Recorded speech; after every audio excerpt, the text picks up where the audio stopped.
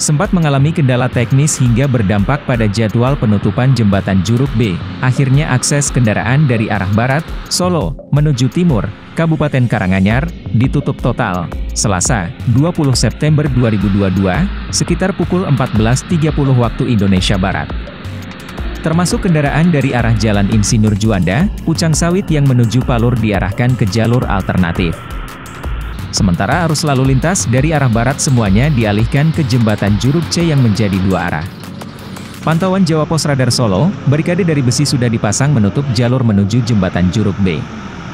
Petugas juga memasang pemberitahuan pengalihan arus bagi kendaraan dari arah barat yang hendak menuju Palur atau Pucang Sawit.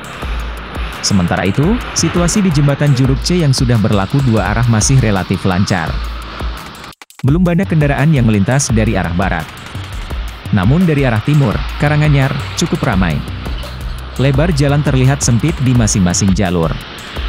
Hanya cukup untuk satu mobil dan satu sepeda motor bersisian. Wakasat Lantas Polresta Surakarta AKP Sutoyo menuturkan, pasca penutupan jembatan Juruk B, yang diwaspadai adalah peningkatan volume kendaraan mulai dari Sekar Pace, Jalan Insinyur Juanda, dan dari arah timur, Karanganyar. Kasih Manajemen Rekayasa Lalu Lintas Dinas Perhubungan Kota Surakarta Mudo Prayitno menambahkan, yang harus diwaspadai adalah pengendara berputar arah di sekitar SPBU Juruk. Mengingat, pemasangan pembatasan jalan tidak menjangkau lokasi tersebut.